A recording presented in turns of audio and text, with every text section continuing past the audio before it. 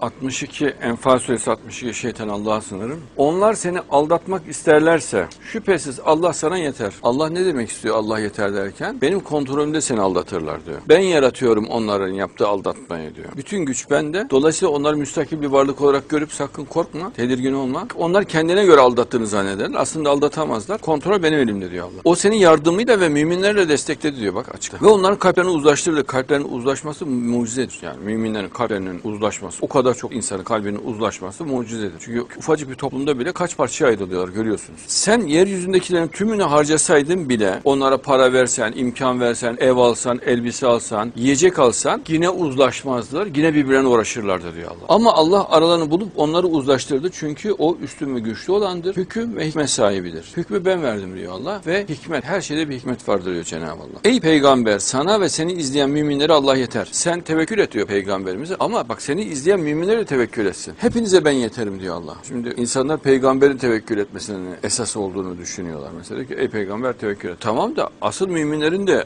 tevekkül etmesi önemli. Çünkü müminlerin morali bozulursa peygamberin işi çok zor olur. Tevekkül en büyük konfordur. Mümin gece gündüz Allah'tan tevekkül isteyecek. Tevekkül, o mesela diyor ki ya içim sıkıldı diyor. Niye? Tevekkül edemedim. Diyor ki ağladım diyor. Niye? Tevekkül edemediğinden. Endişelendim diyor. Niye? Tevekkül edemediğinden. Korktum diyor. Tevekkül edemediğinden.